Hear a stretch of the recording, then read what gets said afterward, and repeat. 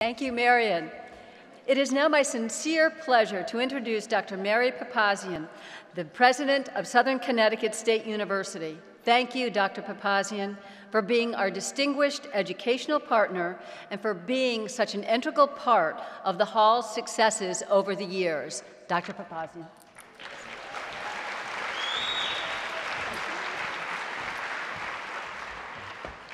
Thank you, Susan, and congratulations to you and your staff on staging a memorable event this evening. And let's have one final round of applause for the group of remarkable women who have been honored at this induction ceremony.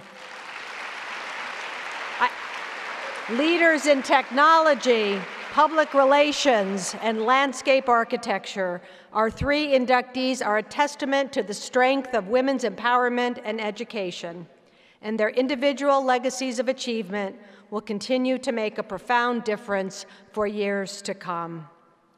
Southern Connecticut State University is proud to host the Connecticut Women's Hall of Fame, an organization that honors the accomplishments of outstanding Connecticut women and in doing so inspires new generations of young women and girls to follow in their footsteps. At Southern, our task as an institution of higher learning complements the efforts of the Hall of Fame as we provide opportunities for young women and young men to further themselves educationally, inspire them to achieve, and encourage them to work within the social and political arenas to see that all are given a fair chance. We are passionate about educating future female scientists and engineers along with teachers, nurses, businesswomen, journalists, artists, doctors, and individuals in scores of other occupations.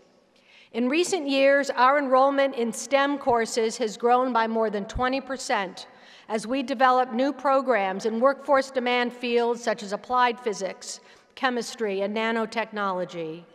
And as you may know, next spring we will open a $49 million academic and laboratory science building, which will provide myriad new opportunities for student learning and research.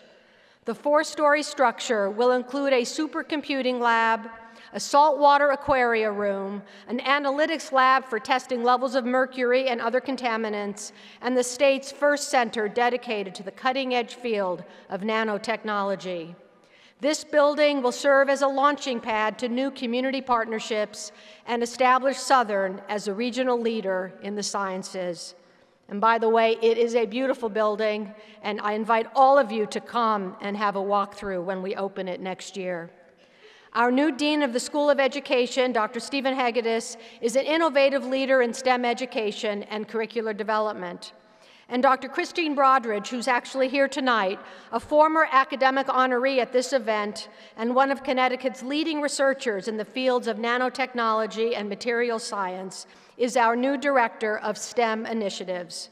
In her role, Christine will be developing new programs on campus and building partnerships with governmental, business, and other academic organizations. These ventures are important as it is critical that our academic programming evolves apace with the new demands of our economy. At Southern, we look to build on our opportunities, partnering with the Connecticut Women's Hall of Fame to ensure that all young women realize their full potential and join the ranks of those we have honored here this evening. Let's give them all one more round of applause and to all who worked so hard tonight. It was a wonderful evening. Thank you. And now I have the pleasure of releasing you into the evening and to your travels home. I do hope they're safe. Thank you very much.